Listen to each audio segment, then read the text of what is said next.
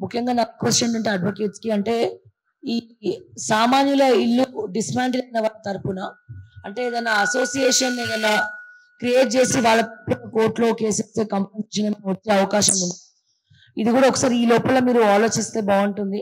And uh, అలాగే మన advocate Ramarao గారు ఉన్నారు. టిఎస్ హైకోర్టు అడ్వకేట్ రామారావు గారు కూడా మాట్లాడతారు దీని గురించి. అన్న. ముందుగా మన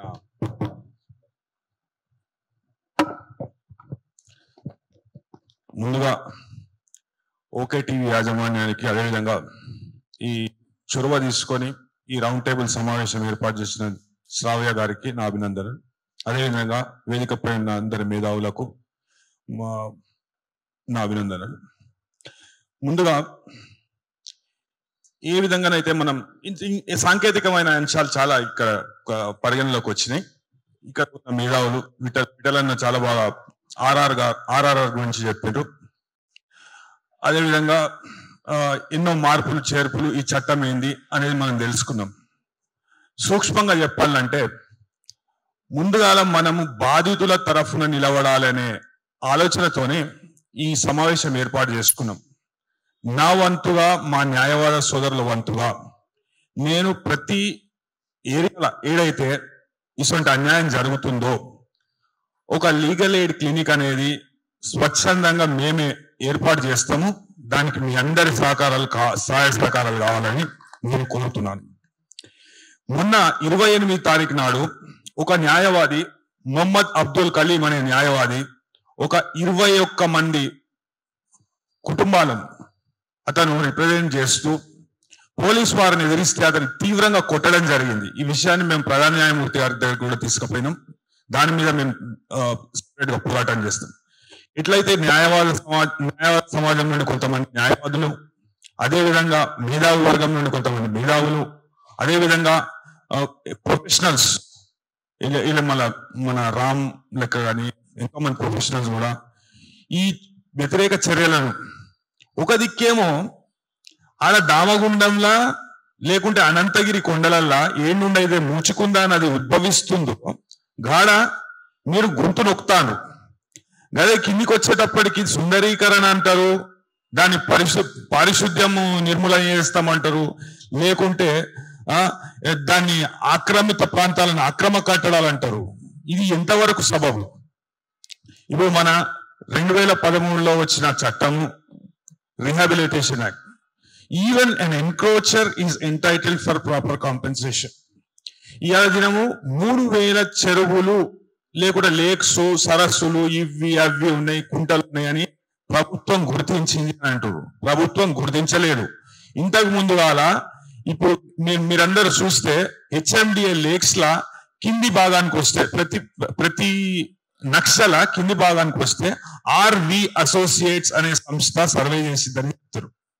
దీనిలో ఒకటి ముప్పై ఐదు రెండు వందల అరవై ఆరు ఫైనల్ నోటిఫికేషన్ ఇచ్చారు. ఈ ఫైనల్ నోటిఫికేషన్ ఇవ్వకుండా మొన్న జస్టిస్ లక్ష్మణ్ గారు అడిగిన ప్రశ్న ఇదే.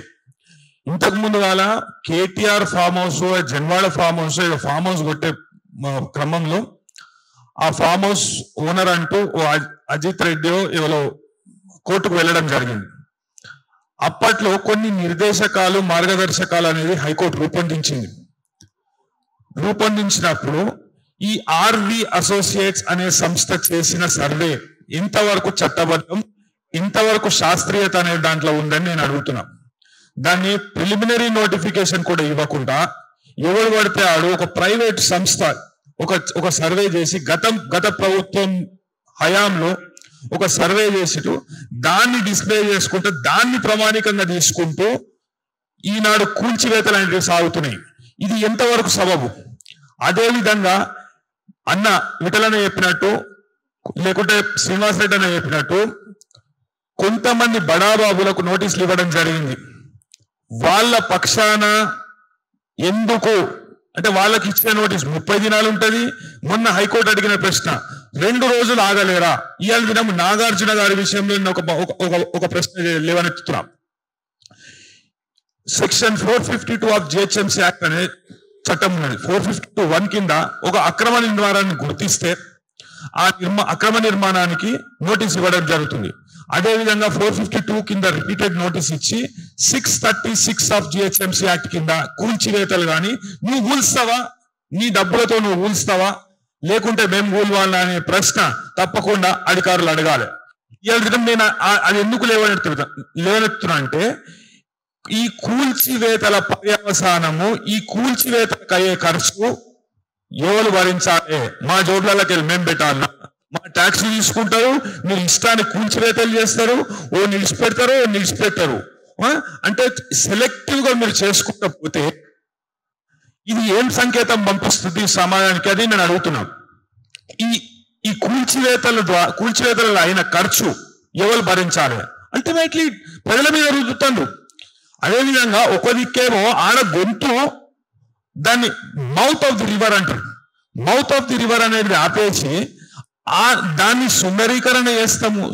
మీరు మొత్తం అటవీ సంపదలను నాశనం చేస్తారు నిన్న మన సోదరులు చెప్పినట్టు దామగుండం అడవిలో మేము నిరసన ప్రదర్శన చేస్తాము.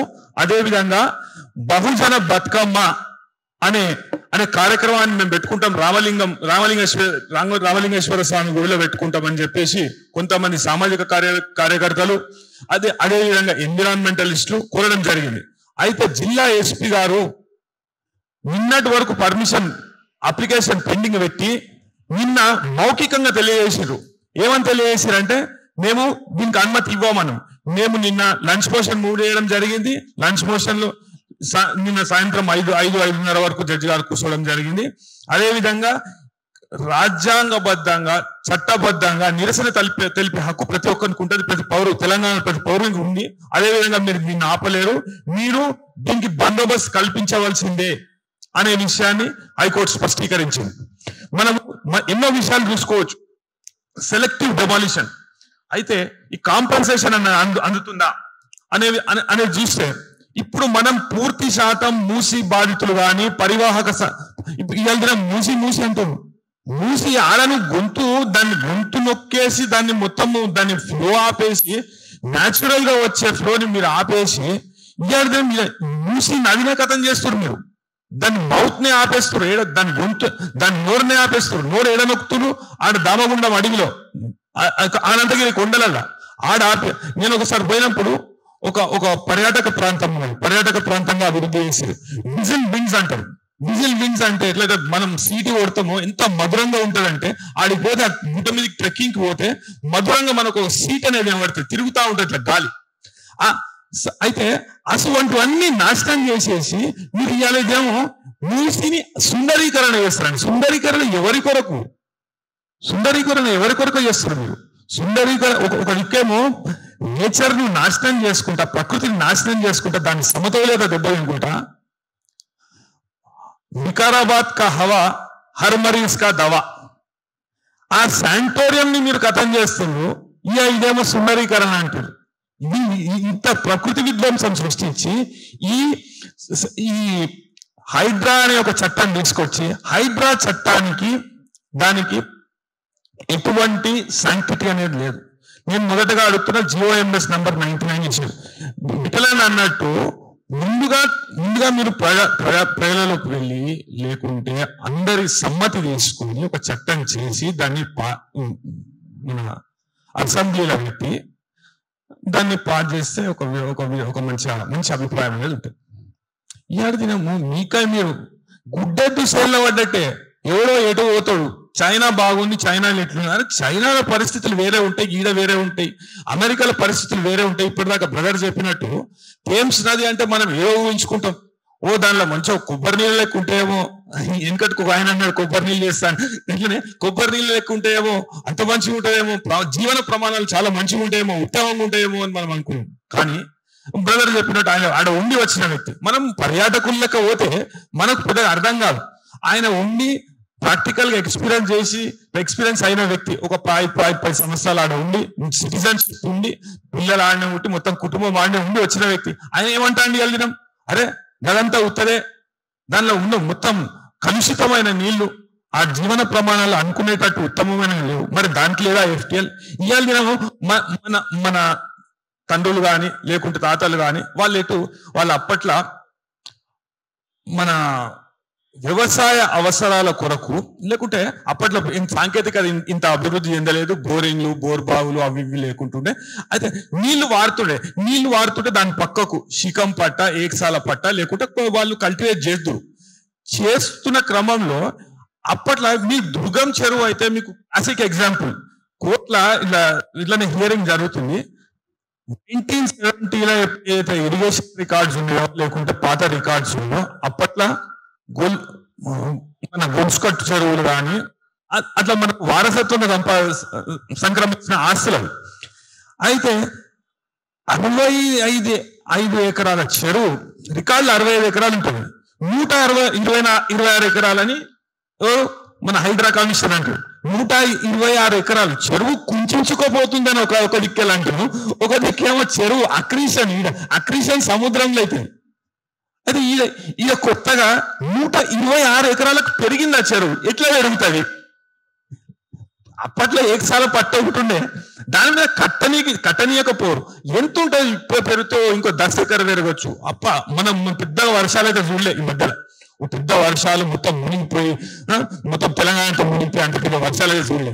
అయితే అరవై ఐదు ఎకరాల చెరువట నూట ఇరవై ఆరు ఎకరాలు అయినట అంటే ఎందుకొరకు ఈ అరవై ఐదు ఎకరాలు కలుపుకోవాలి? కలుపుకొని దానిలో ఈ రివర్ ఫ్రంట్ డెవలప్మెంట్ అథారిటీ లేకుంటే ఈ ఫ్రంట్ ఆ ఫ్రంట్ ఏదో ఫ్రంట్ పెట్టి ఫ్రంట్లో ఇంకోని పెట్టి బ్యాక్ నుండి మొత్తం పైసలు చేసుకోవాలి ఇది కథ.